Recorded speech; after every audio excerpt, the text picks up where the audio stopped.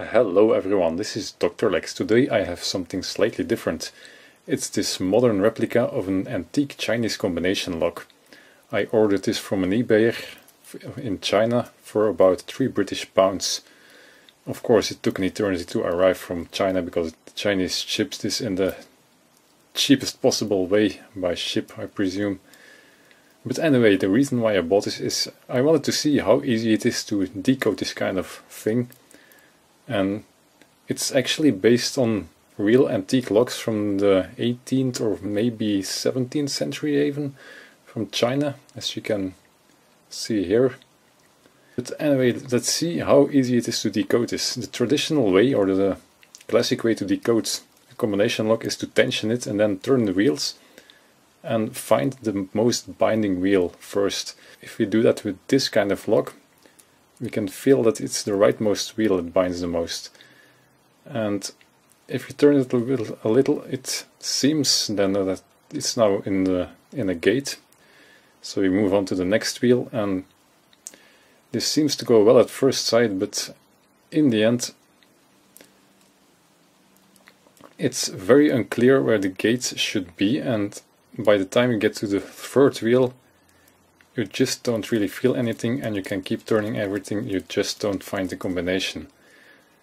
So I've tried some other things and I found that it's actually you have to do it the other way around. You have to find the least binding wheel, which happens to be the leftmost one. And as you can see there's a quite wide gap here at the left.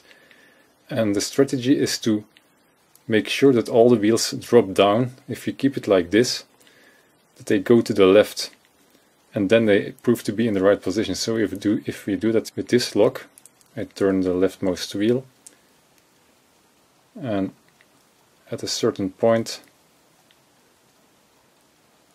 it drops down and then we move on to the next wheel. There we go, it dropped down and I think the third one is already in the good position so and the fourth one so now we should only need to turn the last wheel. There we go, it's open.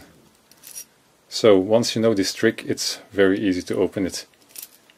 The construction reminds me of some very cheap bike locks from the past, which used a similar design with these caps and also wheels like this. And the reason why the classic strategy fails is probably because of this irregular spacing of these gaps combined with just the way how it's constructed with this kind of crimping at the end and general coarseness of the wheels.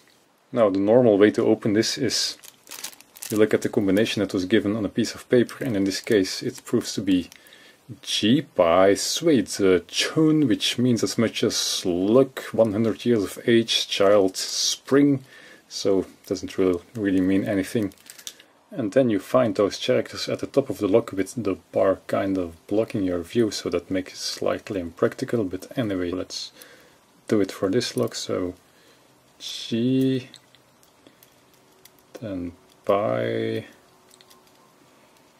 sway.